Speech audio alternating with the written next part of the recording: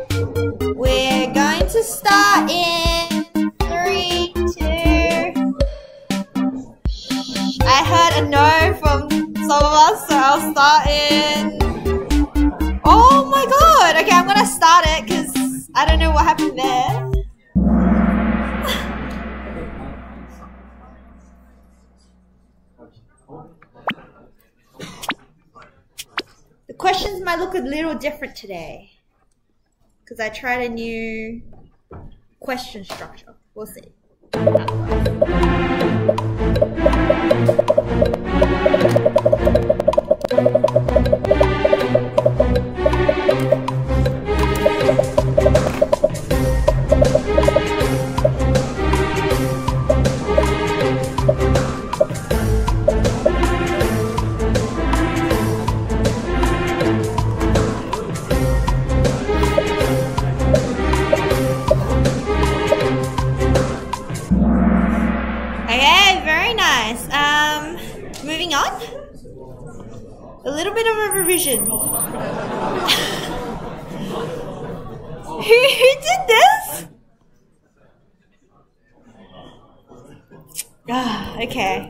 what it is. Let's move on.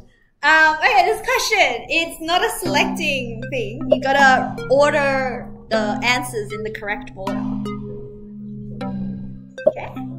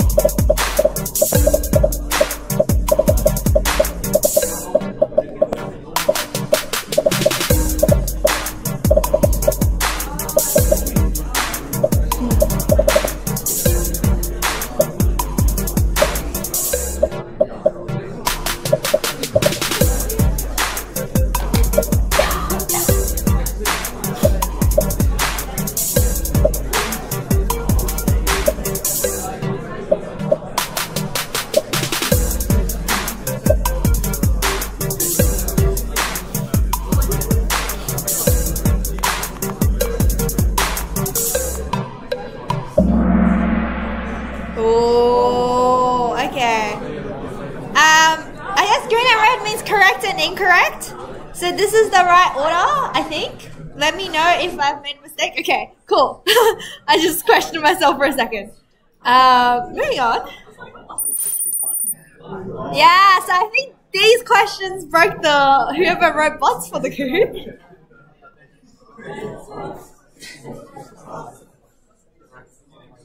Okay, another one of these questions.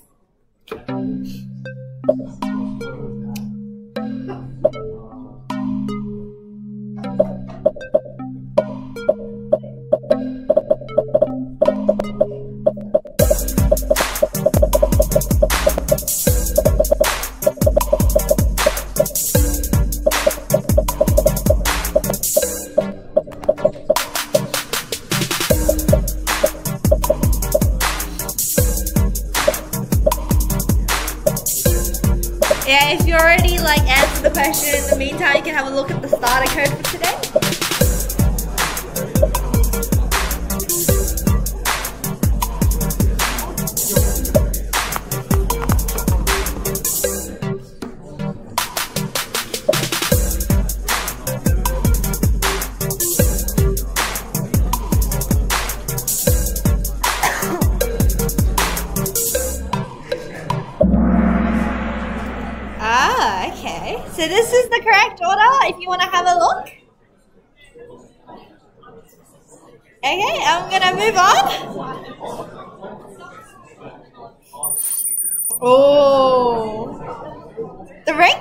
Changing a lot today. Multi-select. Which of the following operations on a linked list typically requires traversal of the list? Okay,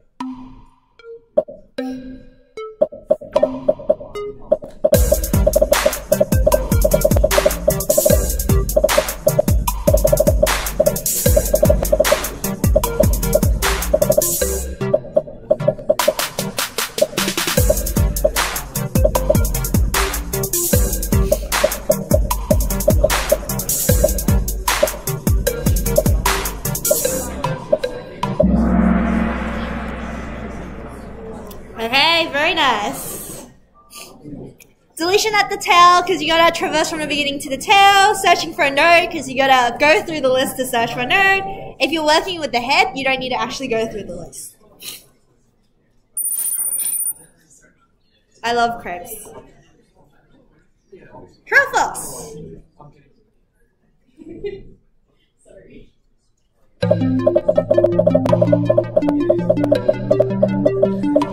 Alright,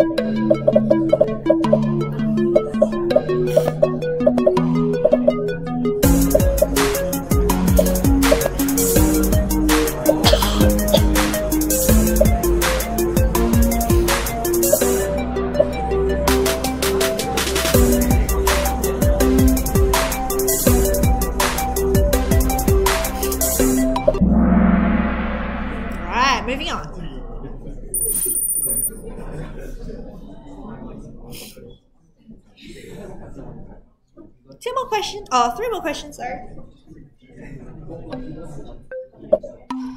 Which of the following linked list operation requires malloc? I know a lot of people have this question, frequently asked questions, one of them. When do I use malloc? And when do we not use malloc? Do I need a malloc for this?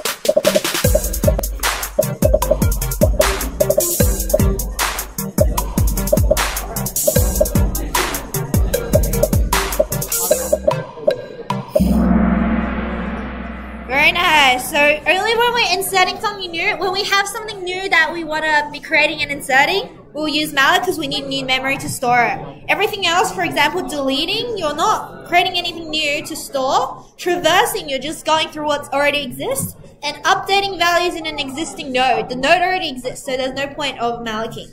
Um, I see a question in the chat about um, like the the previous question about single direction, like linked list only goes list only goes in a single direction. Um, for this course, they only go in one direction. Uh, that's what we've taught. Um, in future courses, you might encounter something called doubly linked lists, but that's for another time.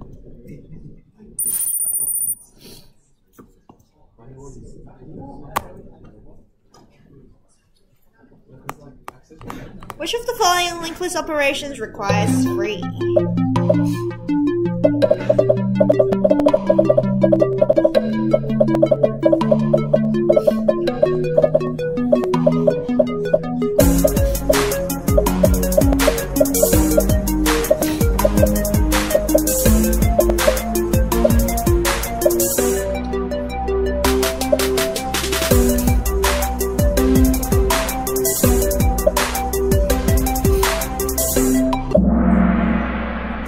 I made this question on multi-select to trick you guys, but there's only one answer.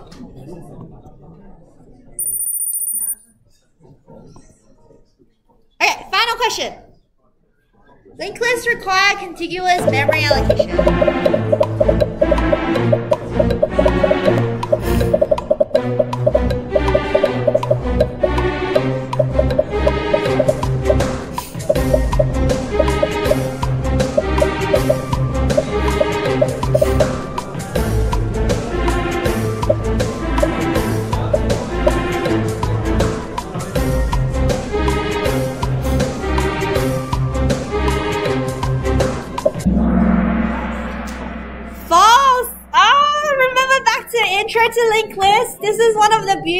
Linked list because we don't need a consecutive piece, contiguous piece of memory in the computer to store the data. Shh.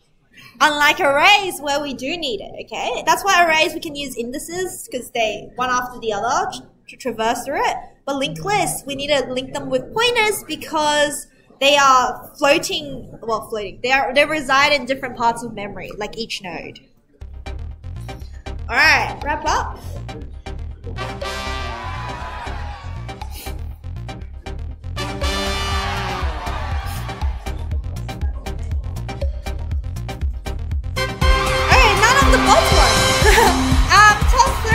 can put your hand up, or if you're online, you can collect in the next lecture. Oh, I see there's an online online. Yeah, um, thank you, Deepa. Um, put your hands up if you're top three. This is honesty basis. Alright, moving on. Got a little bit to go through today, so I'm gonna, how do I do this? I'm gonna just do that. Alright, cool. Um, so today we are going to wrap up on linked lists and do a final like a big lecture program that puts everything together hopefully. Um, we might not get through everything in the starter code that i've put um, but the rest you can do as practice for at home. Um, so sasha is going to be back next lecture so wednesday. Um, i think she's flying soon or she's currently flying i don't know. Um, but yeah, um, so this is my last lecture you guys. Um, okay, so a few announcements before we continue. Um, assignment marks will be released sometime this week. Uh, please check it as soon as they're released. We will announce on the Ed forum when they're released. And if there's any issues, email CS1511 and we'll, uh, we'll work with it. If it's a style marking issue, uh, please email your tutors. Um, but if it's like your performance mark issue, then email CS1511 or anything else like extensions not applied and so on if there's any issues with that. Um, now, I think I got the email like 10 minutes ago uh, or 20 minutes ago about my experience surveys being out. So if you check your emails today, you will see that there's a email about filling out my experience uh, surveys, which is the survey for everyone, uh, every course at UNSW uh, at the end of the term. So if you guys can all fill it out to give us some feedback for the course, that would be amazing. Um, yeah, it would be really helpful for us to improve the course for the future. Um, okay, so another few um, announcements. Um, next lecture, so Wednesday, Sasha is back and she will be spending that lecture going through exam information, okay? Um, so all the details related to exam will be answered on Wednesday. And in week 10, so next week, Next week, we're going to have a practice exam, which will be in a similar structure as um, to your final exam structure. So it's really important you kind of practice with it. Um, they will be held in the in-person labs, like in the exam environment where there's like no internet, no Google, and so on. Um, and you can see what kind of resources you're being supplied within the exam environment. Um, now, if you're en- enrolled in an online shoot lab, um, we will put out a link to sign up for one of the existing lab sessions in person for you to test out your login and if there's capacity to um, try out the session in person, but we know that not everyone is interested in doing that. You can just you can still access the exam paper ex- itself online um, without going in the in-person lab. So don't worry about that. Um, lastly, we have last a last set of revision sessions in week eleven. So um, the sign up links will be out probably next week. Um, but yeah, look out for those. Okay, so like I said before, we have live code. Um, the starter code. So we're working with some starter code today. We'll be on the this link as usual. So last few lectures, we went through linked lists, we went through traversal, like insertion, deletion, traversal, and that's basically it to the, like, what you need to know for linked list. Um, and you can do your assignment too as well. So what we're going to do today is do more practices to bring everything together um, with the linked list program. Um, but before I do that, Okay, I've dumped in some slides from last week, but I won't go through these. Basically, last lecture or last last lecture, um, in at the end of those slides, which I didn't get to show everyone, I made a little checklist and a little like two mini frequently asked questions about oh why do we use malloc and free and so on. Um, so if you want to go back and have a look at this, just to you know check up on your knowledge and so on, um, you can do that in your own time. Now for today, um, the, before we get into like the big bulk of things, there's a few little things I want to address. Basically, fill in some of the gaps um, that I might have missed in the previous few lecture. Firstly, we spoke about memory leaks in the last lecture, in the last few lectures, um, about how we need to be freeing out memory um, before the program ends as good habit. So for one for one programs, the programs only last for like two seconds. Um, so the memory gets freed after the program ends anyways.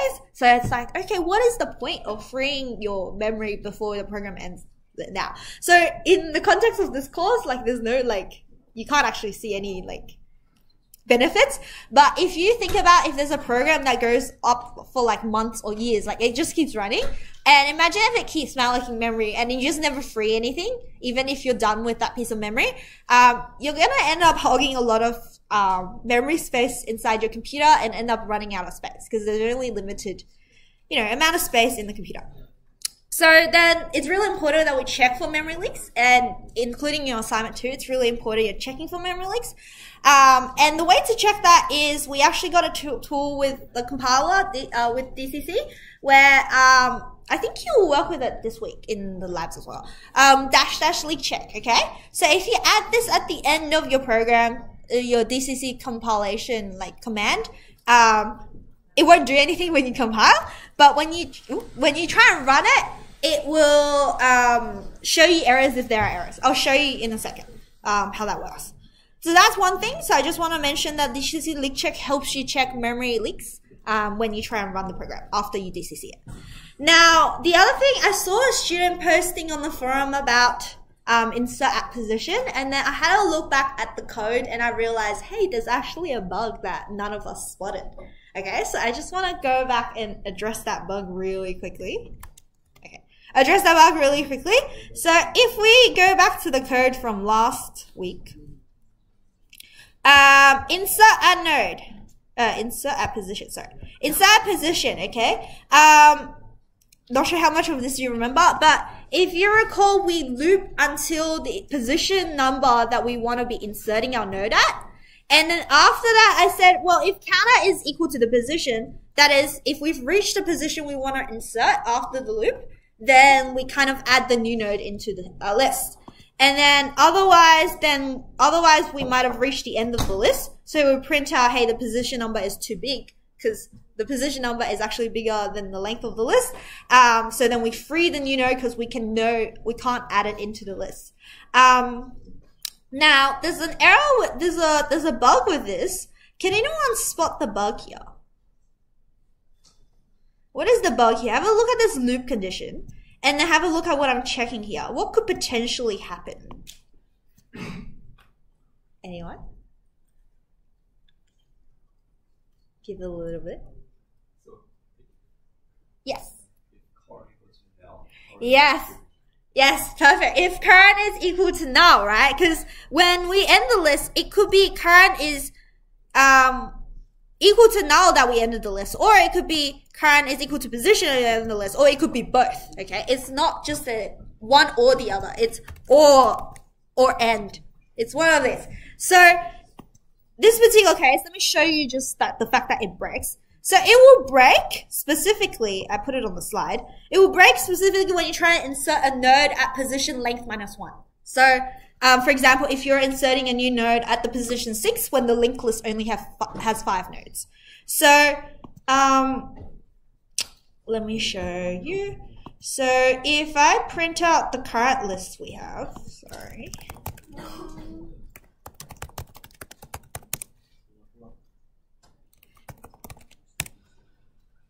It currently is there's no issues where we're like removing and adding like what we called in the functions. Now let's say this is the list we end up with like 11, 7, 6. And what I'm going to do is insert at position and I want to insert uh give me a second what a insert position some data some position and the list give the list so the data, let's say we want to insert zero in position. So we've got four numbers in our linked list. I'm going to want to insert it into position five, let's say. Okay. Um, insert it into the list. Let's say I do that and then I want to print the list out.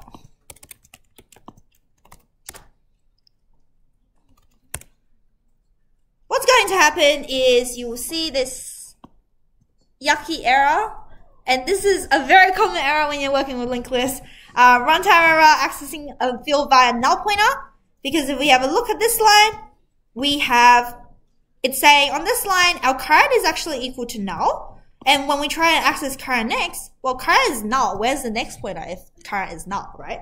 So we're trying to access a null pointer as such in here. Okay. So, um, that's where the issue is. And basically the fix for that is when we check if car if counter is equal to position in our insert at position. Um, we just want to check that it's also that current is not equal to null. Okay, before we go into this if statement. Otherwise, if current is null, then hey, the position number is too big, and we're free to know. So if I try and just, just quickly run that again. Yeah, so now it no longer um, breaks. There's no longer the error. And it just prints out the list as it is because the number didn't successfully get added because the number was too big. Okay. So that's just one bug that I wanted to address from before. Um, okay. So let's move on. Uh, any questions actually? Okay, let's move on.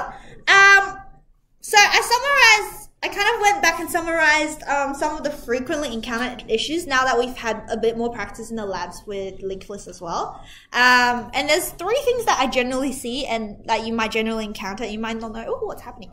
So, um, first thing is accessing a null pointer variable. So it's what I just showed you the error just then. And eventually, essentially the key things that you want to look at when you look at that error is firstly the error itself. When you see that error, check what line it is on because it's probably complaining about that line. You have some kind of a null pointer, some kind of a pointer that's actually null, and you can't actually do an arrow on that null pointer. And so you want to check the values for that particular line as well. Okay. Um, the second one is we haven't shown it here, but it's something called an uninitialized pointer. Um, that happens when you don't, so I've got something, an example code on the top right hand corner. When you declare a pointer, but you don't make it equal to null or equal to some malloc node, okay? And then you try and use that some pointer, I've called it some pointer, um, then firstly, DCC is actually going to pick that up and give you a warning, being like, eh, it's probably uninitialized. Um, and then you will probably encounter some error when you try and run it, um, because it's accessing some piece of memory it's not meant to access because it's not being initialized. The third thing is the thing uh, I was talking about DCC leak check before. Um, it's a memory leak. So when you use dash dash leak check with DCC, it's going to cause you to have um, so if you compile it, it's going to, when you run it, if you have leaks, it's going to pick up on the leaks, sorry. Um, so here's an example of what it will look like when it picks up on the leaks. It will show you, hey, there's an error. Free not called for memory allocated. So the program will still run if everything, like the output is all correct. Um, but you get a message at the end saying, hey, you haven't freed all your memory before you ended the program. Okay, and it will generally tell you what function it the the malloc was from. So in this case, it's from the create node ooh, create node function where the malloc is, um, because for everything you malloc, you want to free before the program ends. Um, so that's that. So coming back to our linked list.c from last week then, I've added a to-do comment because this program is actually incomplete where we haven't actually freed all our memory before we ended our program, right? So if I try and DCC this with leak check, it will give me an error when I run it at the end, right? With the free your code with the memory. okay, so that's that's the three. Yeah, that's the three errors. Um, any questions about that? No questions? No So, questions? for Yes. certain programs that we had for the, the weekly test, when you had made the link list early, you'd already freed that stuff. It was only when we made our own malloc stuff that we needed to free it. Are you talking about this link this.c here? Sorry. In the in the um, questions we had for the lab, Yeah. because that was you, you'd already made a link list, so you'd already freed. Yes, so a lot of the linked list questions in the labs are focused on, hey, implement this particular function. So um, you only need to care about whether you need a free in that function in the sense that if you're deleting nodes in the function, you want got to make sure the thing that you're deleting is freed. Otherwise, all the memory leaks outside of it, like freeing everything else at the end of program, is already catered for you. So it's dependent on the question. Um, yeah, that's a really good question. Um, sometimes, if you notice, sometimes because we're all humans, sometimes we might forget to free the memory. So if you spot anything where it's like, wait, this is complaining about memory leak, but I'm pretty sure I don't have one, then please report it to us. Okay, any other questions? Cool. Is audio cutting out from off online? Testing one, two? Hello? Okay, let me know in the chat. Okay, one person. Um, okay, cool. Uh, moving on. Okay, so the focus of today um, is we want to do a bigger linked list program, okay? And it's bigger than what we've done so far in the lectures, but it's a little bit smaller than assignment two because we don't have that much time to give you enough context in a two-hour lecture. So, um, but the structure is quite similar to your assignment two um, in some ways. So it might help if you haven't started your assignment two. It might help with that as well. Um, we're going to put linked lists in a particular context, specifically about emails, actually, managing emails. And the key takeaway today is also understanding provided code, because sometimes it can be very overwhelming when you see like multiple files provided to you with a lot of existing code already. It's like, where do I start? How do I understand this? And of course, we'll do more variations of linked list operations today as well. Um, again, we might not get through everything, but we'll see how we go. So, like I said, um, the context is emails. So the program will be about managing emails, okay? An email managing system. Um, basically, our emails in our folders, in our, like, maybe your Outlook, Gmail, and so on. Um, we're going to represent the emails as linked lists. And you're given three files. Again, you can access them in the live lecture code, um, where there's a .c file, email management system.c, which is where we want to complete the code. Um, there's an email management.h, which is where the function prototypes and a lot of the definitions are. And then there's a main.c, which is also provided to us. So we don't need to touch main.c. It's the main driver of the program that calls the functions and so on. But today we'll spend some time understanding what each file is doing before we start coding. Um, okay, so the task here is to complete all the to-dos in the code. Um, specifically, we only need to really touch email management system.c. Um, I've, I've listed an assumption here, which we'll come to later, but all like emails are kind of unique in terms of its subject line. Um, but it will make more sense when we come to coding. Alright, so Alright, so let's first understand what the provider code is doing and how they connect together. Uh, let me get it up. So I'm gonna open the three files. Ooh. Okay, so we've got three files. Um, let's go down. I'm gonna cd into the right directory actually. I'm going to be editing. So there's there's two folders in the live lecture code. One is starter code. I won't touch that just in case you want to do it from scratch at home. Um, I'm gonna touch the other one without the starter code bit. Okay, so we've got three files. Let's look at. Whenever I get files like this for linked list, I always it's a habit of mine, but I always like to look at the .h file first um, because that gives us a lot of the definitions of the functions we need to implement, the functions we can use, um, and the different definitions that are potentially uh, available to us.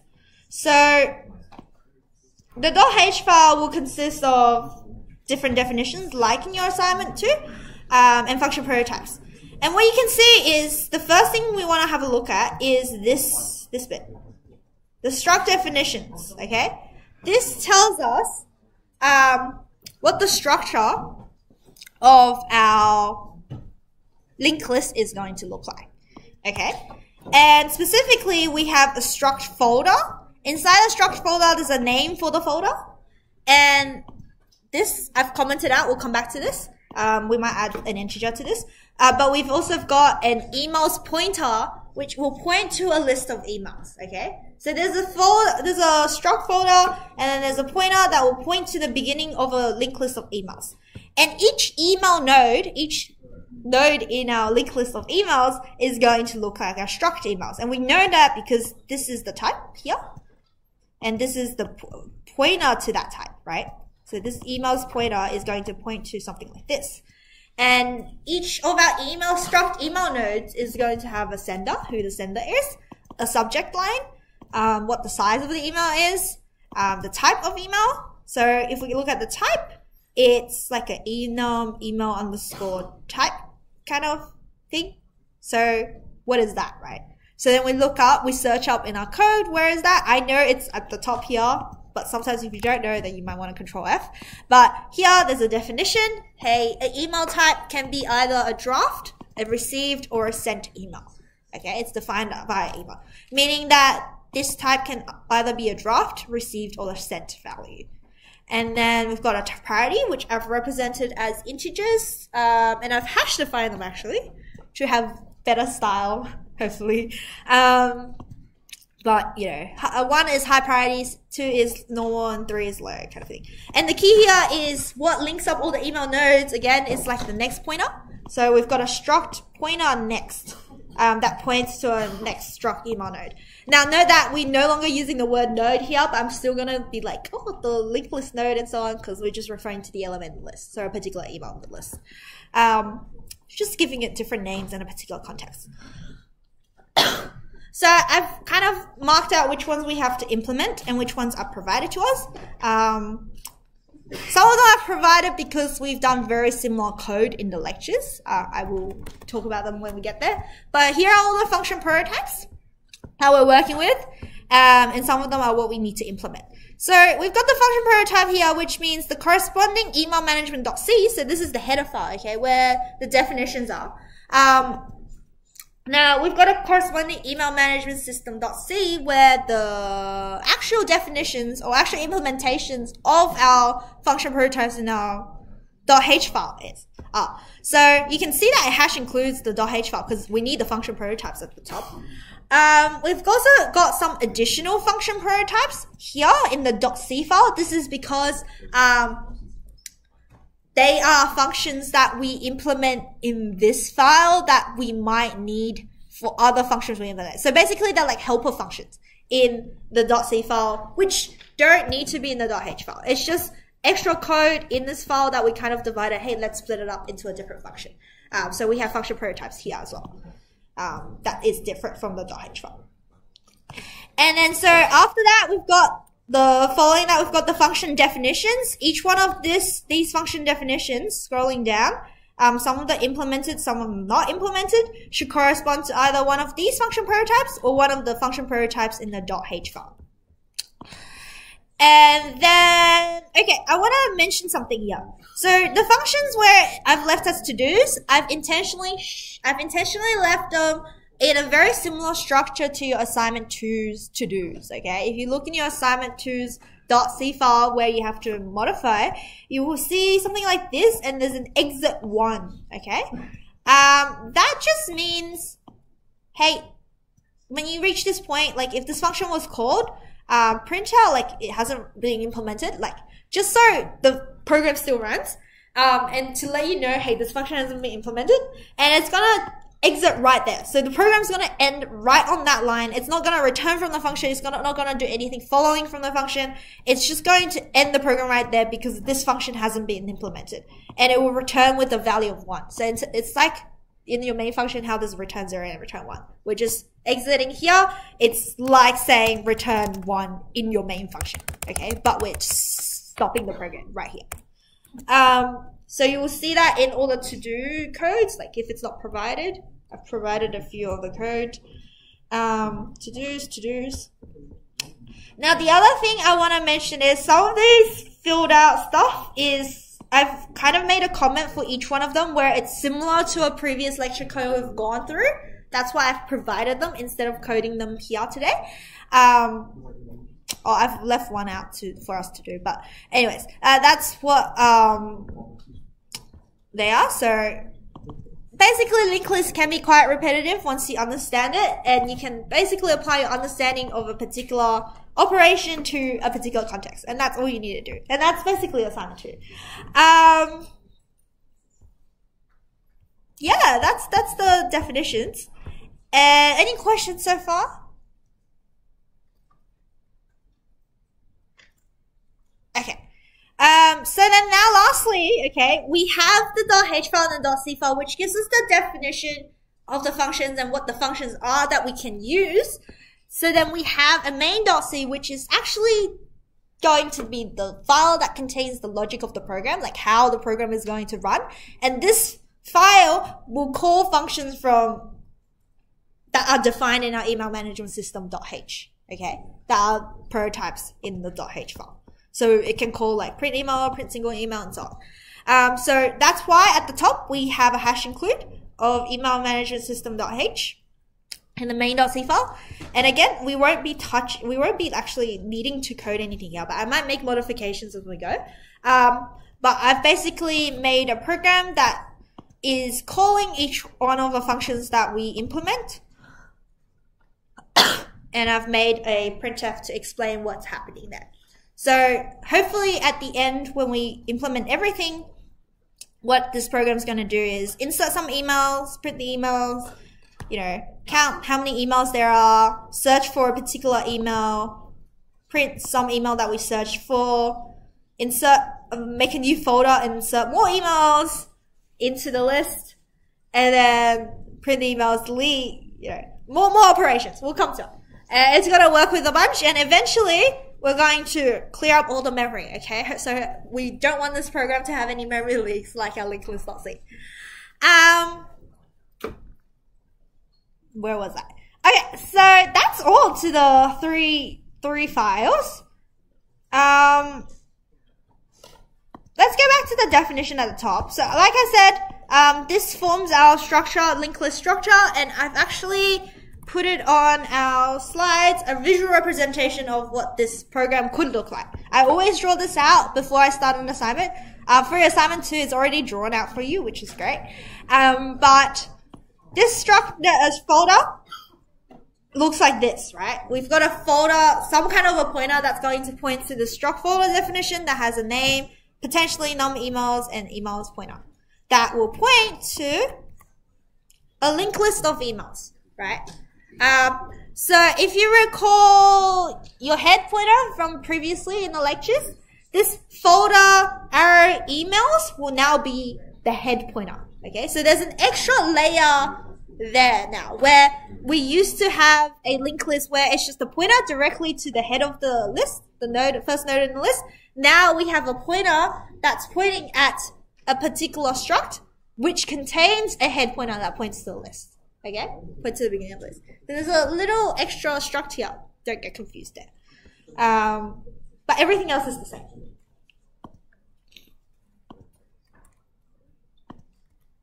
Alright, so let's go back and look at this code and probably start coding some of it.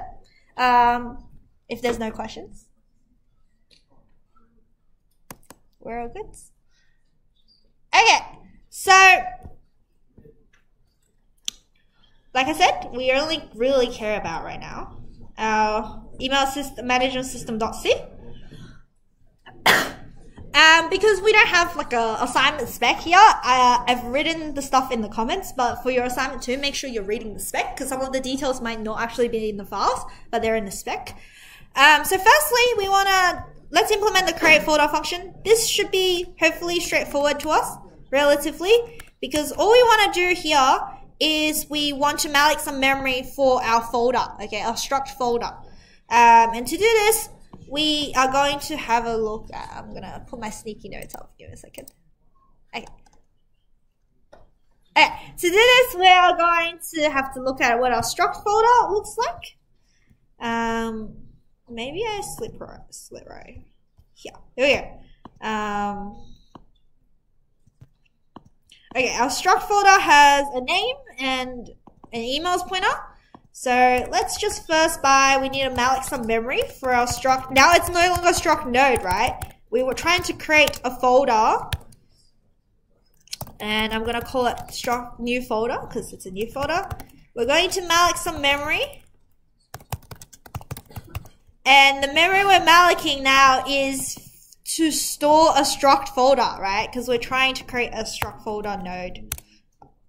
Oh, struct folder struct, sorry. Um, Okay, so once we've done that, once we've malloc some memory, we want to initialize the fields inside our struct. So there's name. So new folder name. We want it to equal to actually the name that's being passed in. Okay, when when someone creates a new folder, it's going they're going to pass in a name for us. Um, now I always have the tendency to want to do this, but remember the type of name is a string, so we want to use string copy.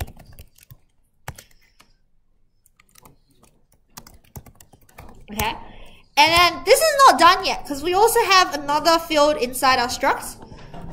So I want to make sure that that field is also initialized.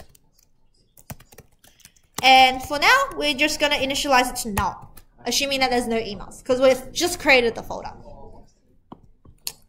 And finally, if we look at the return type of the function, it's a struct folder pointer, meaning that we can return something of that type and we want to actually return the new folder that we've created, which is of that type. Okay, so that's done. First thing done. Um, now this create folder will be used in our main.c if we have a look to create a new folder.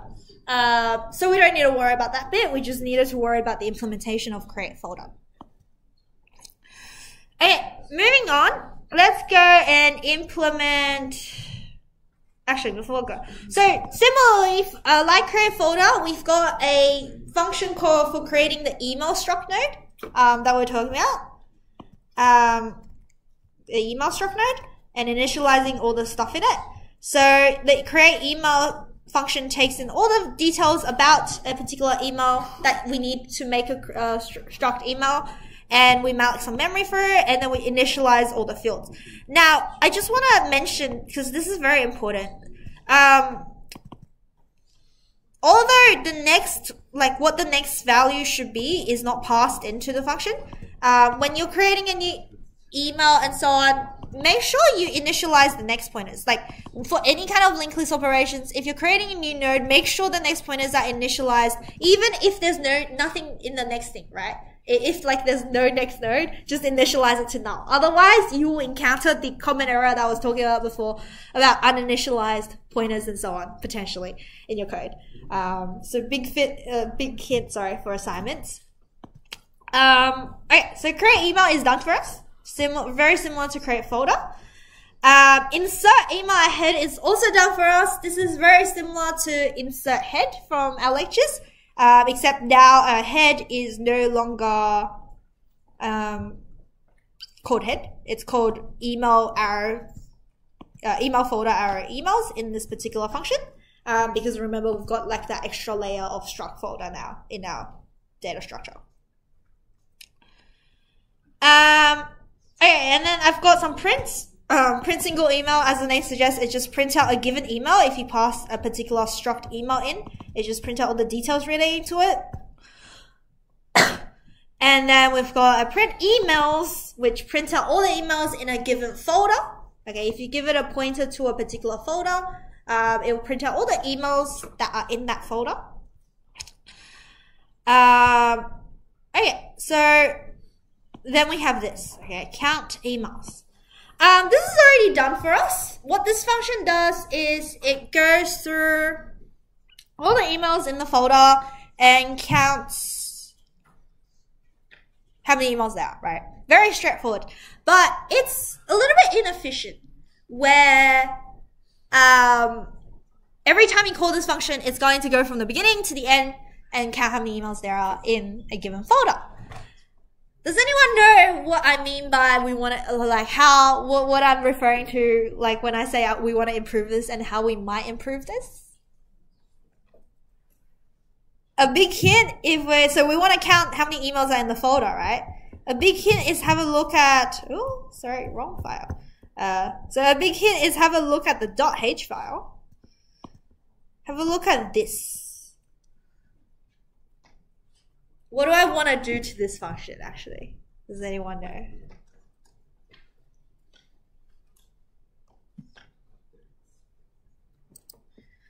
So, what we want to do, okay, instead of, instead of, um, counting every single time we go through counting emails, why don't we, okay, why don't we just make sure that every time we insert a new email in our functions where we're inserting, we have a integer in our struct folder already that keeps track of how many uh, emails there are. And every time we're inserting, we increment that integer. Every time we're deleting, we decrement that integer. And so when we come to counting the emails, we don't need to loop through it again because we've already got it in our num emails. And so then all we need to do instead of this is just return email folder where we have a num emails integer. Okay. Um, but in order to do this, we need to actually implement it. So let, let's go back. So this is what we want to do so that it saves us from looping, which is a lot more efficient. Um, so to implement that, we want to have this, okay? Introduce, define this integer in our folder so that every single folder is associated with a num emails. If every single folder is associated with a num emails, that means in our create folder function, we need to make sure that we also initialized num emails. Okay? And it's to start at zero because we're creating an empty folder. Uh, I've got some sneaky notes just so I don't forget all the positions we have. Um, so let's keep this particular variable in mind for now um, as we're implementing all the other stuff. Um, okay, so if we look back at the other functions that's already been implemented, actually, let's do that first. We gotta make sure all the insertions actually num emails plus plus, and all the deletions actually num emails minus minus. So let's scroll through our functions that are implemented. Uh, create email doesn't need anything. Insert. Okay, insert email ahead. We're gonna make sure that the folder that we're inserting into, um, that num email gets num email plus plus. So let's do it here. Um, what are we doing? Email folder. Num emails. Let's plus plus that. Okay. Um, I'm doing it there. Note that because if I let's say if I do it at the bottom, right? Then it won't num emails plus plus for this particular if statement because we have an early return here, so the function will end there. So I've intentionally done it at the very top so that it applies to all the cases. Um, let's see if there's any other functions implemented about insertion or deletion. Um, for the to-dos, we'll add them in when we implement them. Insert email at tail. Okay, we've got an insert email at tail. So let's make sure we also email folder, num emails plus plus. Shh. Um, split folder. Okay, that's all. That's all that we we have right now that needs to where we need to modify num emails. Um, so the next thing we want to do, but we'll take a break before we do it, is let's scroll down. If you want to have a think about how you do this in the break. So that, wait, sorry, sorry. So that, going back to the blue little, so that's all to the count emails function. Instead of all this code, we just got that one line. Now that we've implemented it. Okay, so the next thing we're gonna do is search for an email, um, which we'll do after a break. Let's take a five-ish minute break, um, and we'll come back in a bit.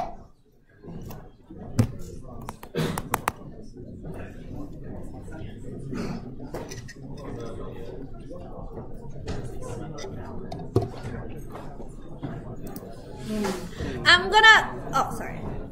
Give me one second. I'm gonna put a poll in the chat if everyone can vote on it, um, just so I can gauge how we're going.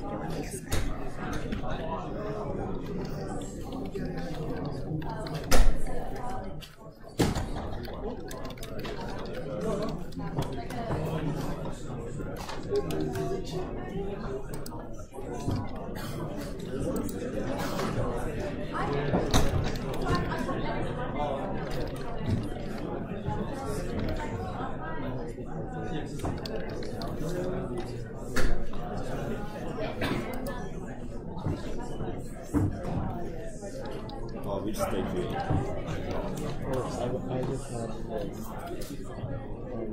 you? Understanding. Oh, you just finishing the log. Yeah, but And after you log, you initialize. yeah, I don't understand like if we create this function and we have these parameters, Oh, yeah, you initialize this one. This. what does this mean? Initialize this all of the features. Yeah, like it, yeah, like for example, diameter centimeter is initialized like 10, 15, and for Or like exclusion free, yeah, exclusion free, how do I like initialize the name function? any random. Yes. So I had this question. Yeah. This uh, this is the assignment. Yeah. and it's written as we, we have to create this function create rest and then uh, that copies the parameters into this and then uh, what does do? initialize all of the features and these things. So if there, so in the struct type, um, have a look in the struct type definition. Are there any other variables inside it that's not mentioned here? And if there are, so you know how just like in the example I gave here, uh, when I was talking about creating email, right? Although, like in if you look at the arguments, they have sender subject, size, type, priority. But there's one thing that's in the email that's not here, which is what the value of next should be, right? So that in this case, we know we would since we're just creating one email, we logically think, okay, I'm just going to make that next pointer be equal to null. Does that make sense? Yeah. So it's like that. The other what if I am using all the parameters all the parameters of the script, correct? Yes. Uh, text, yeah, year, then text, uh, year, text, yeah, the parameters of the script, text, yeah, text, yeah, yeah, text, yeah,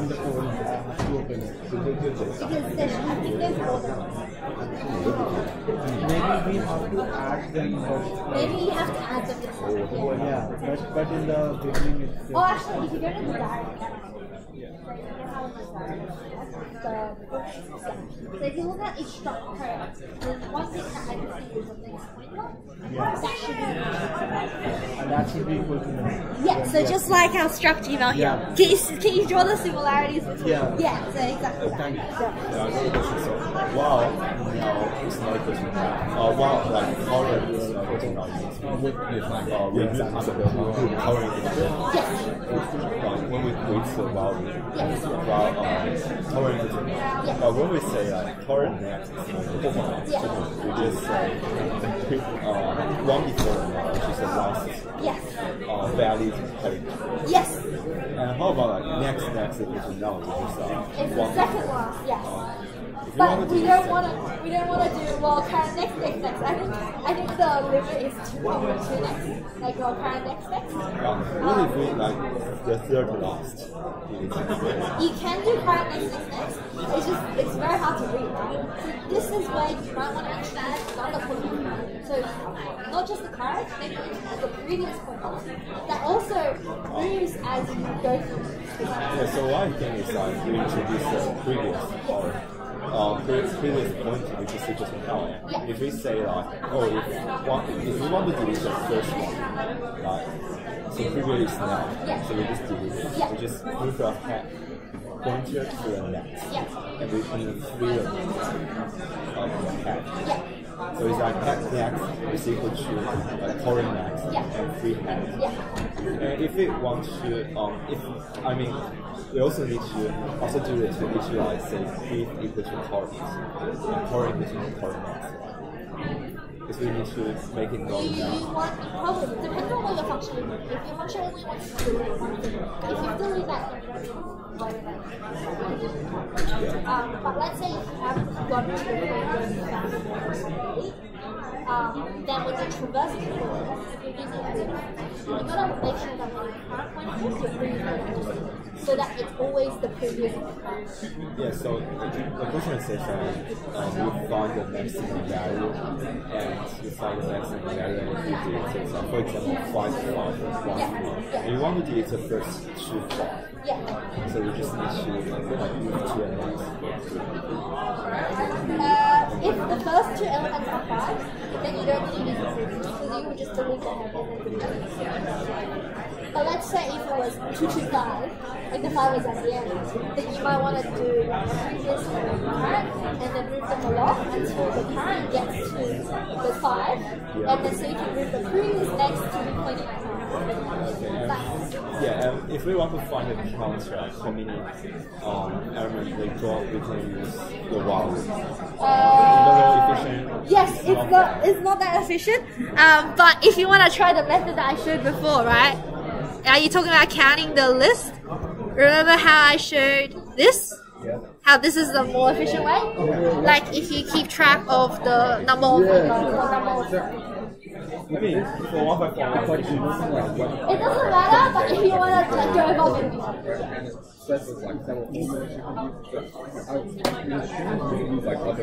Of course, yeah, yeah, yeah, of course, yeah. have a look at what type of data, As in, the first. what type of variable. It should be inside. I was trying to It should be like date dot here equals from date dot here.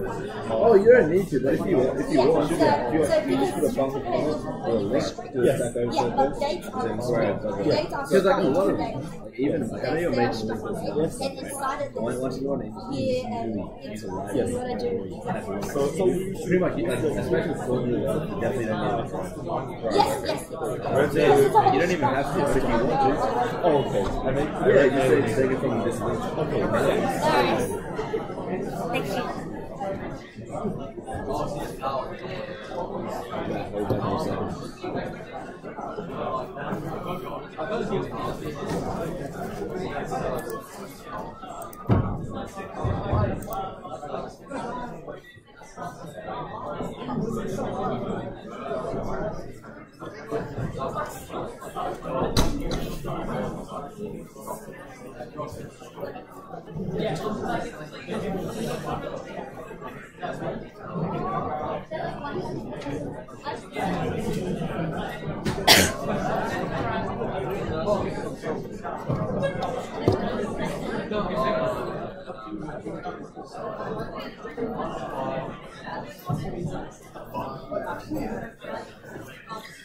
Okay, let's all come back. Um, shh. Alright, I, I saw a really good question in the chat, so I think I, I might want to talk about. If you're really confused or if you have any questions, you can put them in the chat as well about the file, like understanding the files. Um, but I saw one really good question about when accessing the num emails, why am I accessing email folder? Where is that struct? How does that work? So I'm referring to email folder here when I'm counting emails, right? It's like, wait, where is that email folder coming from? So remember what we're doing here is we're, shh. Remember what we're doing here is we're implementing a function, okay? So here, we, what, all we want, to, all we care about when we're implementing a function is the function itself and what's being passed into the function. In this case, we're passing in a pointer to a struct folder, which then contains a list of emails, right? Like this. So we don't need to really care about where the email folder comes from. We just need to know whenever someone's using this function, they're going to give us something like this. So then we can assume that there's an email folder, um, and we can access things inside it. Well, probably if we wanted to be really safe, we probably want to check that email folder is not equal to null. Like if it's equal to null, return early. Um, but I'm making the assumption here it's that it's not equal to null, just to simplify things a little bit. Um, what am I doing? Ah, yes. So eventually, once you've implemented this function, it gets used somewhere. And again, coming back to the main.c, if I just search for count emails, there's a function called somewhere where we're passing in an actual folder, okay? So when this function gets called now, folder one, wherever we've defined folder one at the top, is going to be passed into this function. So when we're referring to email folder, we're referring to that folder one, uh, the, the thing, the, the folder node, uh, the, the struct folder at the address that folder one is pointing to, to be very precise.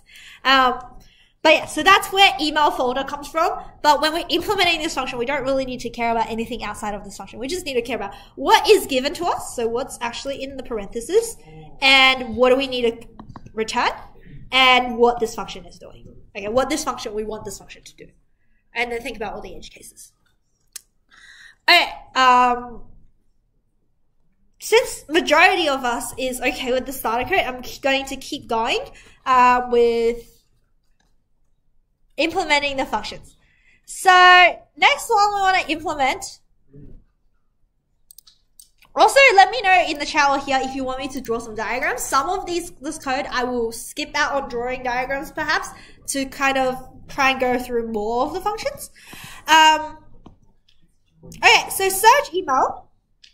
Okay, search email. What we want to do here for this particular function is once we're given a string, okay, for the email, the folder's name, the email folder, oh sorry, uh, sorry. Once we're given the string for the subject of the email, um, we want to look for the email where this subject is the string. Okay, so, um, for example, in my main.c, where did I call, where did I call search emails?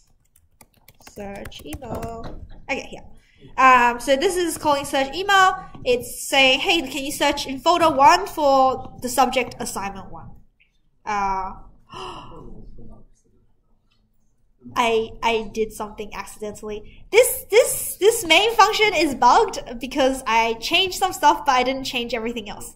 So let's search for A instead, um, because we've got a subject called A. I'm gonna modify as I go because I decided last minute that I wanted to change the subjects to single letters so it's easier to explain. Apologies. Um, but I'll come back and modify the subject names as I go. Okay, anyways, so we want to search for emails.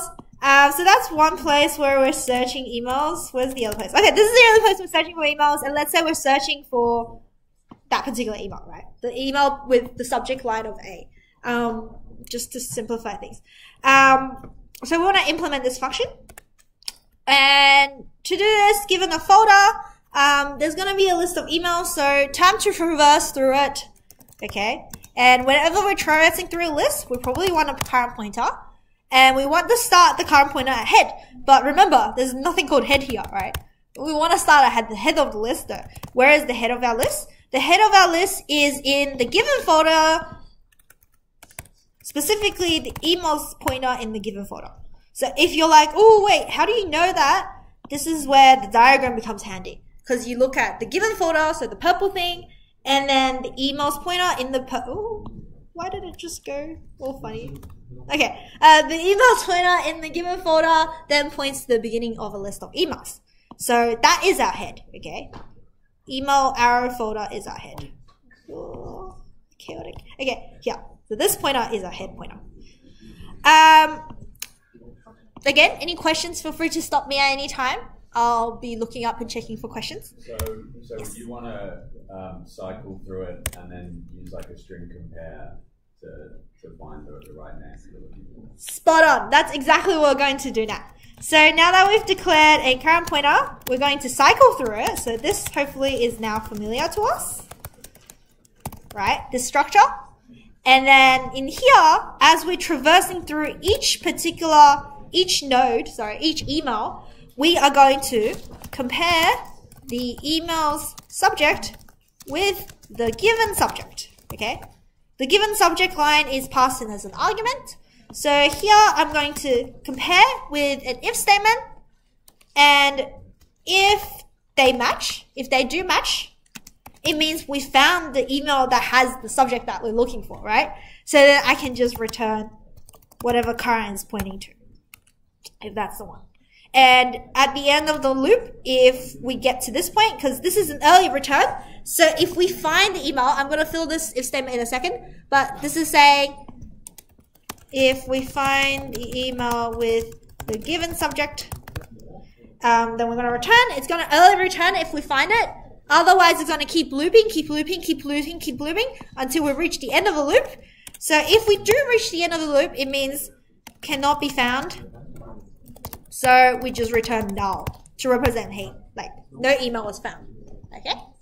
Um, now, can someone actually? I, I'll leave this as a question to the audience. How do I express if we find the email with the given subject here?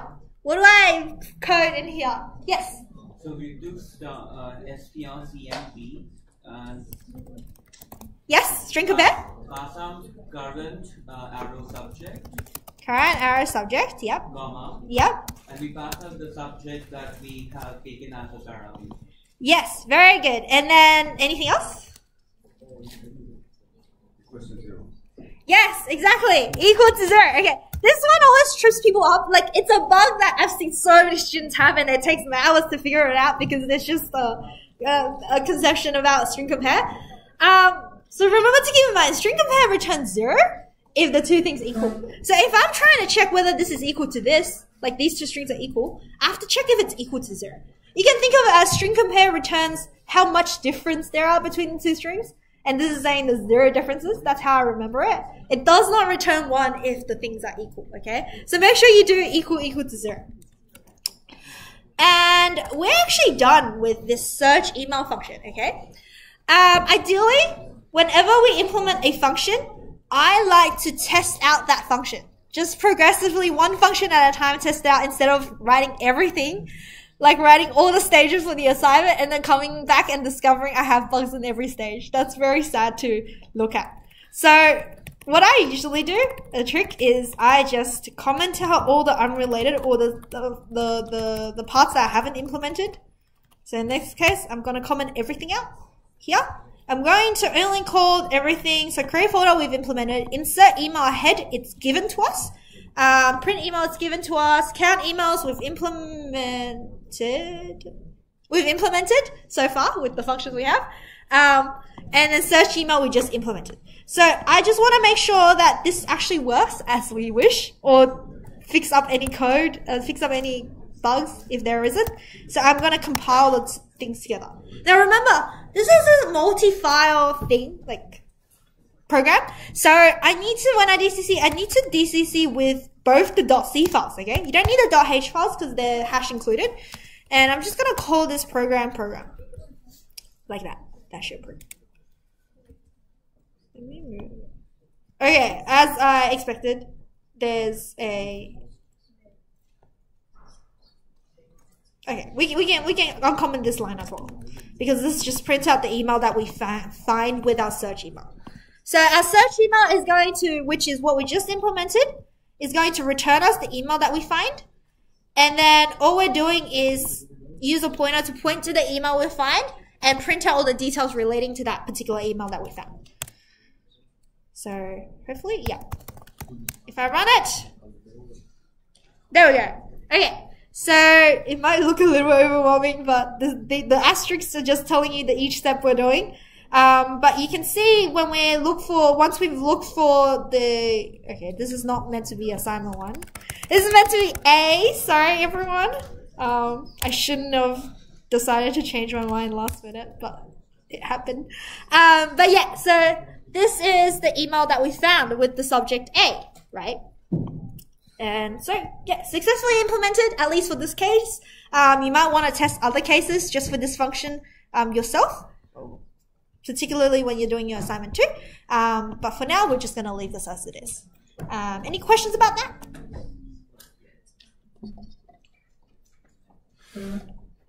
Okay, if there are no questions, we're moving on. Um,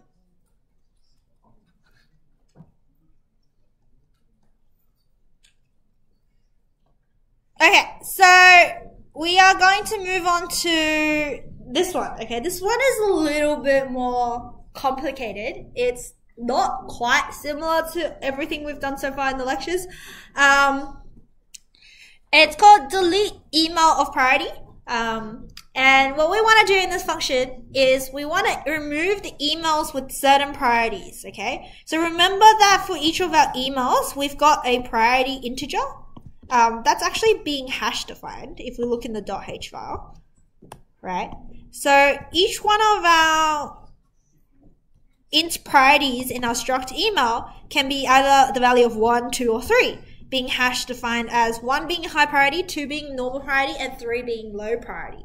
Okay, so for example, someone might want to call this function to delete all the emails of low priority, okay, of priority 3, let's say. And that's exactly what I did somewhere here. If I uncomment this, um, so I created another folder here, uh, print the folder. I, I called delete email of priority in folder 2 of all emails that are low priority, okay? Um, that's what's being done there. So here's the thing, okay? The complication here, sorry, that got really loud all of a sudden. Um, the complication here is we can have multiple emails in a list that is low priority, okay? So it's not just deleting one node and then we're done. We move on. It's about traversing through the whole list and making sure we've deleted all the nodes with a given priority. So there's there's actually two ways that came up on top of my head when I was um, working on this, where one is prioritizes readability and convenience. The other one prioritizes efficiency. Okay, I'm gonna talk, just talk a little bit about uh, the one that is um, convenient. So the one that is convenient is you loop through the emails, and if you find the one that uh, if you find an email that you want to delete, aka the one that has the ones that have priority, as soon as you encounter them, you call another function which goes through the list and deletes a specific node and specify it as a node. So if you remember back to last lecture, I think, where we did delete node, so we would probably use a function like the last lecture's delete node, call that as we're looping through the emails and then um, if we see a priority thing, we call delete node. So we might call delete node like three times if there's three emails that are matching priority, if that makes sense. Um, but the issue with that is, okay, um, let me just write it up because I think that might, I'll write it up in comments. So we will loop through the folder of emails if we encounter email of given priority. This is like semi pseudocode. Uh, if we encounter email of given priority, we are going to call a function that deletes one node of deletes one node. So, um, so it might be a particular function like um, you might have a function called delete specific email, which given a folder, given a folder, and I'm just doing this as a um, pseudocode, but given a folder and a subject, it will delete that folder, uh, that that email with the particular subject. Remember our subjects are unique, okay, for every single email. So it's almost like our email IDs. So it will delete the specific email that has that subject. And that will guarantee that this function will only loop through and delete one email, and you can reuse like existing code you already know, which is delete node from last lecture. However, this way, if you think about what this function will do, is it will have to loop through the list, right? But then remember, we've also got a loop going through here to loop through all the emails in the folder, which means we have a nested loop here where um, as we loop through each email, when we're trying to delete the specific email, we want to loop through to delete that email again. So it's not that efficient. So I'm going to do it another way here. Any questions so far? You have to be worried about reattaching the, the loop though, right? Like from one node to the next one. You're getting rid of one, so you have to reroute it. Exactly. So if I use this particular method, then I don't have to worry about that because it just deletes one node, make sure it's reconnected together before it loops through and um, keeps going and so on. Um, but if we use the, if we write it in the way that I'm going to do, which is we're going to traverse as we delete, so then we don't have any extra traversals, then we're going to have to reconnect things together and make sure that things are okay before we move on and make sure we don't skip any nodes. Um, and that's what I'm going to demonstrate and I am going to use a diagram for this because um, okay, so give me a second. Let me see how we're going for time. Okay. Um, let me get up my, I'm going to close this one. Put this here. Where's the whiteboard? Here we go. Okay. Time for some diagrams. Alright, so if we want to delete email of a priority, like I said, we're going to go through and loop through as we delete, so we only loop through once, okay? Now, let's think about this. If the first email was the email that we want to be deleting, like in the list, then we're gonna have to delete that, that one. And then, so, like, like generally with linked lists, we will might go like, okay, check if the head is the one we want to delete, right? But here, here the issue is, if the head is the one you want to delete, there might be another one you want to delete. Meaning that if the head is want to delete, you delete it.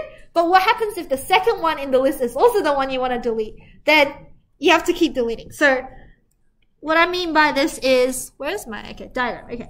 If I want to delete the email that has the subject, oh, sorry, that has the priority, sorry, that has the priority of low, low priority. And then let's say my emails, this is my linked list of emails. I'm just simplifying the diagram a lot because there's a, like a struct folder and stuff. Um, but let's say if the first two emails in the list were low priority, right? And then the next one was high, let's say. Then if I try and check if this is, if the head is a low priority and delete that, the next one now becomes the head, right? So then I also want to check whether this is a low priority and then delete that. And then what if the next one is also a head? So if, as we delete, the list is changing and we're checking different things as we're moving. So what we're going to do is instead of an if statement, we're going to say a while statement, okay? From the beginning, we're going to say a while statement. And we're going to say, while the email folder emails priority, okay, is equal to the priority we're looking for. Let me try and Okay. While this is while this is true, so while the it's like the case I have on the right hand side with the diagram. While this is true, what I'm going to do is Okay, so this is let's say if this is the diagram we have on the right hand side. What I'm going to do is I'm going to make a new pointer called temp. Okay, remember when we're using when we're deleting nodes like last week, we have used the temp pointer sometimes. Um, and I'm going to make the temp equal to the head node, okay? The node at the head. Oh, the node at, yeah, the node at emails, uh, emails folder, arrow emails, because that will be the priority that equals. So, like this. Oh, why did I make my variable name so long? um, like that. So if that I do that, then on the diagram it will be reflected like this, where the temp pointer is pointing at the head, the first thing in the list. And then what I'm going to do, so my goal here, is to remove this first element. So then what I'm going to do is I'm going to make my emails folder emails, which is this particular pointer here, okay? Let me just draw that out because this is very confusing if I don't draw it out. Remember that this is actually linked to a struct folder okay, where this is the struct folder, and in the struct folder, there's an emails pointer. There's also a name, folder name, but this is like that, right? It's like we've got a folder, there's a pointer to the folder, and that's called emails folder. Like that. So the whole thing starts from the bottom, where um, Okay, the whole thing starts from the bottom. We've got an emails folder pointer, which is the pointer that's being given to us. It points to a particular struct folder, right? We're assuming here. Um, that's going to have a name because that's what a struct folder always, always has. And it's going to have an emails pointer that points at the beginning of the list. So what I'm going to do is once I've made temp point to the first element in my emails, which is email folder emails, right? I'm now going to change this particular pointer here that comes from my folder, right? So that it points to where? What do I want to change it to? Temp.next. Exactly. We want to change it so that it points to temp next, right? Temp next, so which is this one. So because we're dealing with pointers, we want to use the arrow notation. So I'm just going to rub this out. And I am going to point this at here because that's what temp next is pointing to. Right. So basically we're just trying to make it so that we skip that element. So that now we can be ready to delete. So now when we follow our email folder's emails pointer, right? So emails folder pointer is this one. The emails pointer is this one. That's like very long. It now points at the second element, and then which points at the third element, and so on. Um, which means now I can delete this, which is what I wanted to do, right? So then I can just say free temp, where temp is pointing at it. Okay, like that.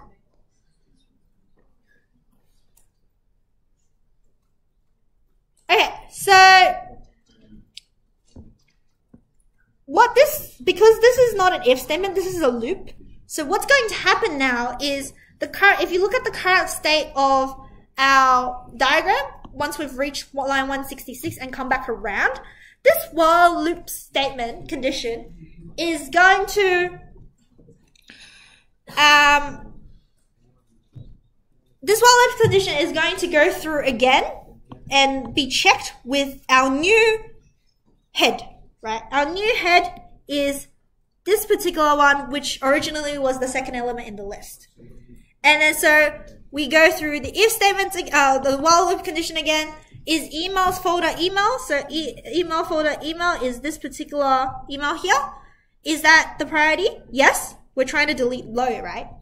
Um, so then we're saying, okay, well, let's make a temp point to that now, which is line 163.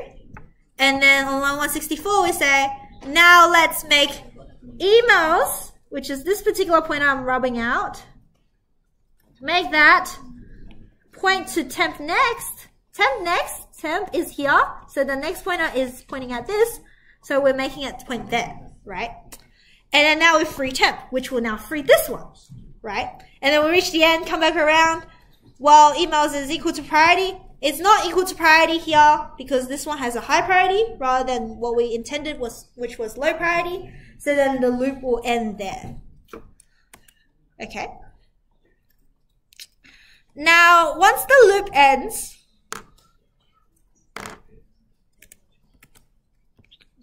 we've actually got more to do here. But because this loop here is only catering for when the when the priority uh, when the nodes we want to delete emails we want to delete are at the head.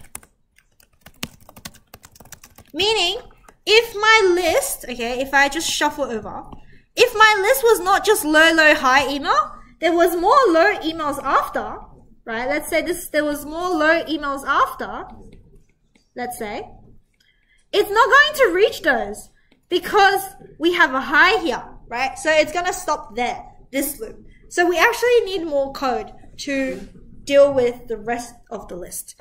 Um, but before we do that, there's actually an issue with this loop condition. We're actually missing something here.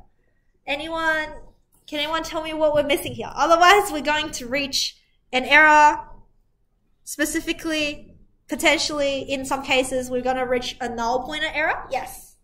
Yeah, so you want to check that your emails folders, arrow emails, uh, it's not equal to none. Yes, exactly. So, and specifically, I want to do that before this particular statement, okay? I'm going to do an and here, but the order of which condition we put on the first, as the first thing of the and and the second thing of the and matters because it's what we check first. So I'm going to check that the email folder emails is not equal to null here, okay? Otherwise, when we try and access the priority of emails folder email, if that was null, then there's no priority and it's going to give us an error. So I've just added a not equal to null here. Can I just check? So when it says free temp, is that getting rid of both temp and what temp is pointing to? Really good question. So free temp is saying we're freeing the piece of memory that temp is pointing to. Yeah, but what, what happens to that temp before? Does that just not exist? Yeah, so the temp, it depends on where we've declared the temp. So if we've declared, if we declare the temp within a function, it will disappear after the function returns. Um, it's just like any other integer, double variable, or any kind of variable we declare in the function. It will disappear after. Um, the reason why we need to do free for the thing that it's pointing to is because the thing that it's pointing to is something that we've malloc from before. So it's always, free and malloc always comes together. Any other questions? Okay, so once we've done that now, this means that there's two possibilities when we are when we end the loop. Okay, one is we ended the loop because emails folder email is now not equal uh, is now equal to null, meaning that we've deleted everything in the list. So everything in the list is was um, actually low priority, or the priority is not no longer equal to priority. Okay, so one of these condition condition becomes false, then the loop will end. So let's cater for the first one first. So if email folder emails is null, and that was what caused us to end the list, then it means there's nothing to remove anymore. Because we've just looped through and removed everything. Okay? So we can just, this is an interesting thing some of us might not have seen, um, return. Note that the return type of this function is void, meaning that we don't need to return any values, but I've used the return here without any values to indicate, hey, stop the function there. We don't want to continue to the rest of the code. Okay, so I can use this early return without values for void functions to make the function stop there. And I like to do that for linked list just so we have less nesting of if and else. Or alternatively, you can use if and else if and so on.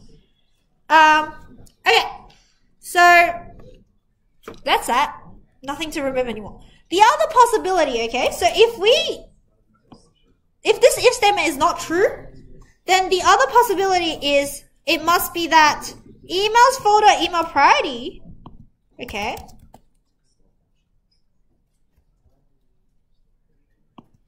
is not equal to priority, but we still have stuff in the list. Okay? But we still have emails in the list. Which is what the diagram I ex oh, what the diagram I extended here, like having the low emails after the high, is trying to show. Okay, this is the case that has not been catered for, which is what will happen when we are reach this point in our code. So by this time, if that was the case, and our diagram looks like this, where we have um, a struct folder, emails pointer pointing to definitely the first one is not a one that we want to remove, but everything follow we don't know, then we will want to do this code. So this is where I want to traverse again, and I'm going to make a current pointer, point to email folders email, right? So that means in this particular list, it will point to that high email there. Okay, so current will start there. Now, what I'm going to say is while, okay, what I'm trying to do here is I know that this particular head, this particular beginning of the list is not going to be a low, it's not going to be the one that I want to delete because I've already catered for that for, with the code before. Shh. So now I can comfortably do this to check that the next element is Sorry, spoilers. Let me do it another way. So now what I want to do, sorry. Um, so the purpose of this loop is I want to loop through and check the next element, next node of current to see if it's one we want to delete. Okay, remember that because because in our list, when we want to delete something in the middle of the list, we always need to have access to the previous node that to the node that we want to delete because we need to change the next pointers around. So that's why we're going to keep current and keep checking where the current next is the one we want to delete. Okay, this is the goal of our um of our loop. So what I want to do is I'm going to have, this is also a very familiar loop condition to us, hopefully, where we keep checking if current next is equal to null, because we want to check whether current next is the one we want to delete. And if current next is not null, we will jump into this loop, which means I can safely now check whether current next's priority is the priority we are looking for, which is the one we want to delete, okay? So if the next one is the one we want to delete. If it is, then we repeat what we had before, okay? So if I run this run this uh, loop through my diagram on the right hand side, it's a bit messy now, but if I shuffle over, um, the current pointer is here. Oh. Give me a second. Okay, cool. The current pointer is here. Is it not update? It is update. Um, now I want to check is current next not equal to null? It's not. It's actually pointing at an email that has low priority. So we know that the next one is one we want to remove. That means the if statement is true in this particular case where my current is pointing to. So I can say Let's make a temp pointer. Oops, habit makes me do struct node, but we're actually dealing with emails here. And I want to make the temp pointer point to current next, okay? Meaning the temp pointer will point to this particular node, which is the one I want to delete. Then we say current next is equal to temp next, which might look very familiar because we just did that like a little bit ago and then we want a free temp. Okay, so current next equals to temp next. So current next, this one, we want to point it to where temp next is, and then we're going to free temp. That's what's going to happen. Let me just do that nicely. Okay. Now, no, remember that this loop, okay, this is a very key point. Um, I, will I'll, I'll come to your question in a second. Give me a second. Um, this is a very key point because usually, okay, um, out of habit, I do like a current equals the current next thing at the, just before my loop ends. um, without coding everything else. But, to, but right now, I've intentionally left it out because we don't actually want to move current equals current next at this point. If you have a look, if we go into this essay and it deletes the node that's next to it, then we've already changed the pointer to point at the thing afterwards. Okay? Which means I don't want to move current to be equal to current next because then we will skip this particular element to check whether it's equal to the priority. So that means instead of doing current equals to current next blindly, okay, I only want to move current to be current next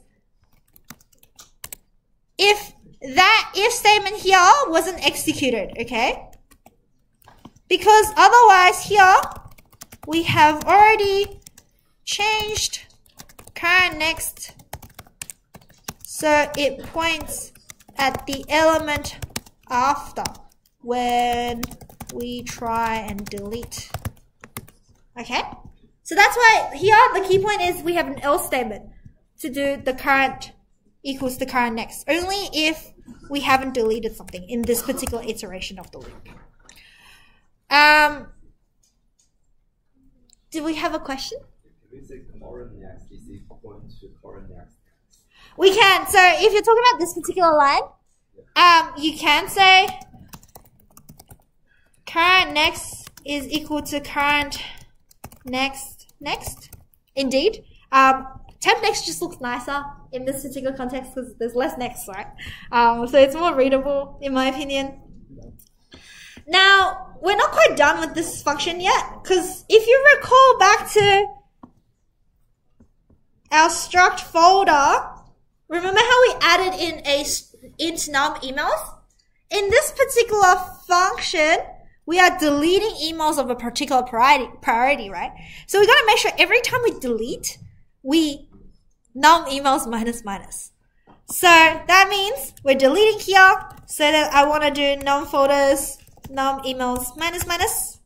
And I'm going to copy and paste that to where else are we deleting? Where else are we freeing? Here. So I'm going to do num folder, num, oh, sorry, email folder, num emails minus minus. Okay? Any other, any questions? Okay. While, while we're maybe thinking of, of our questions, um, I'm gonna try and run this.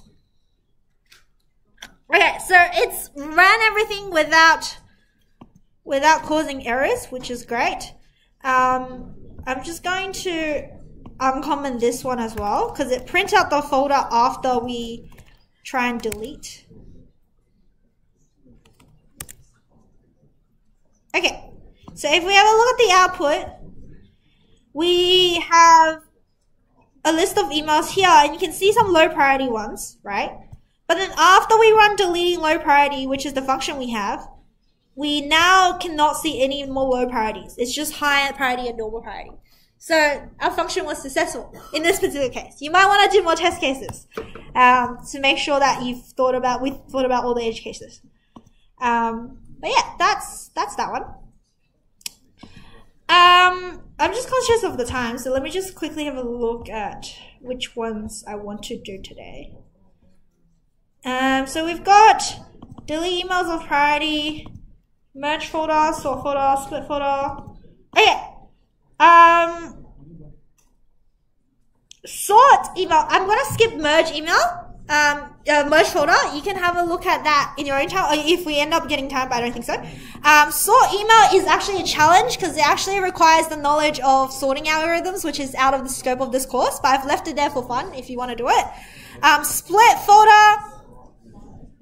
Um, I will put up a solutions version of the code so you can have a look at my implementation uh, compared to yours. Um, there's actually two uh, solutions that I have. I'll put it up. What I really want to do right now is clear folder, okay? We're going to finish up the lecture with clear folder.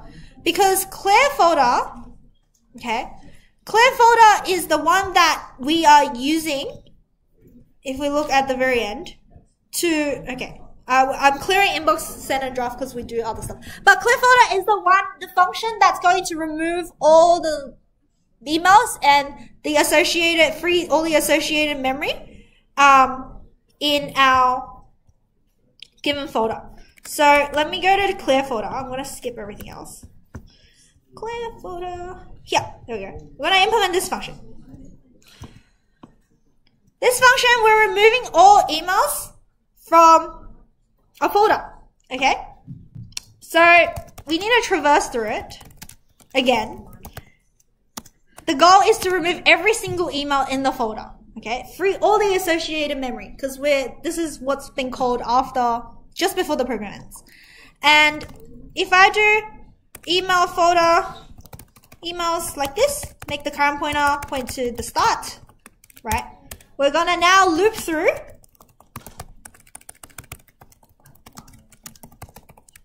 all the emails. Okay. Now we're looping through delete each email we encounter.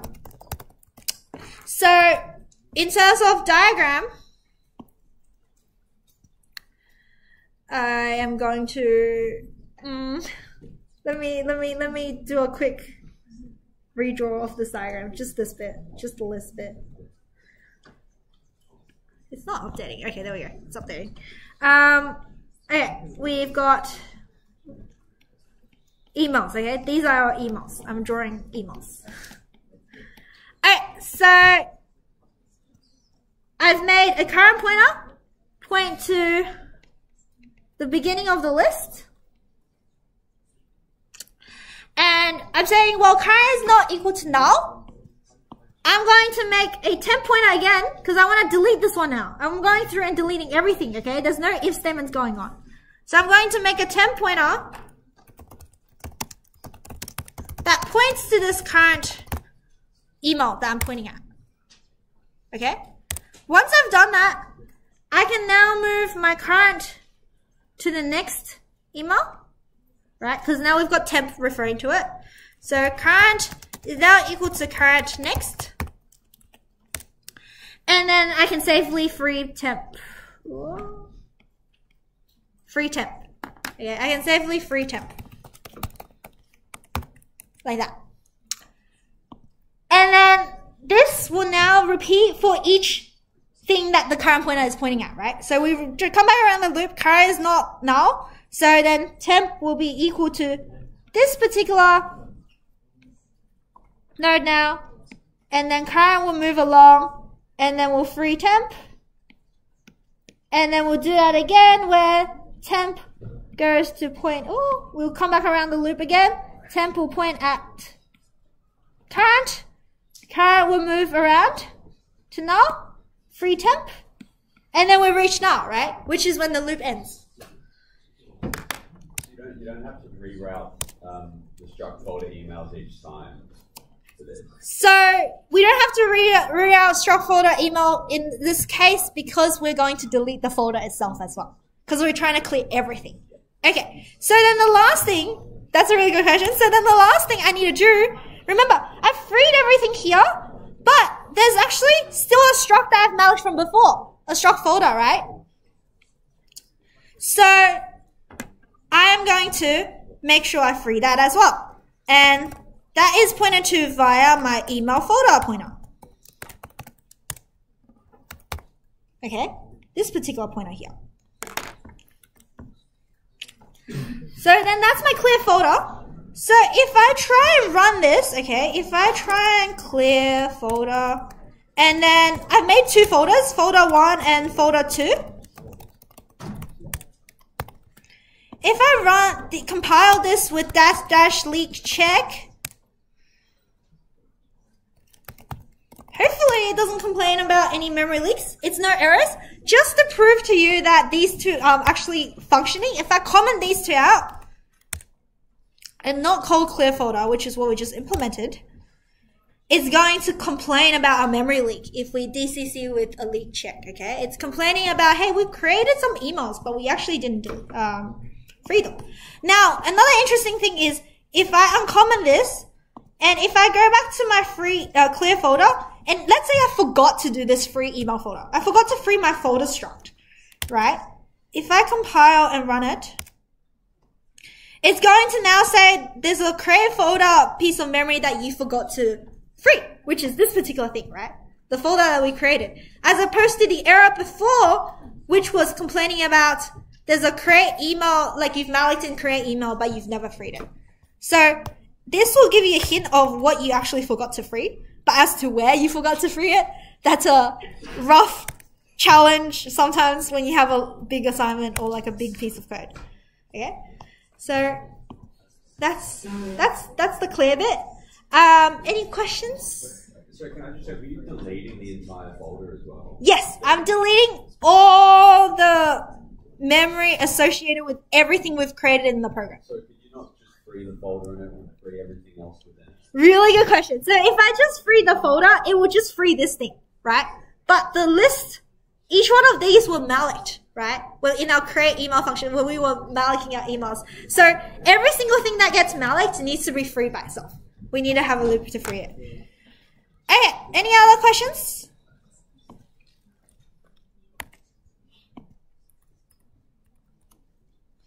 Alright, so today we went through linked list, wrapped up, and put some uh, did some lecture program. There's a few functions we didn't do, but I'll leave that in your own time if you want more practices. Next lecture, Sasha will be back and talk uh, to talk about exams. Um, this is my last lecture with you guys. If you could give me some feedback, that would be really good. Thank you so much. Um, had so much fun. Thank you for support and listening to my lecture and my talking. Um, and I'll see you guys around. Thank you. どうも。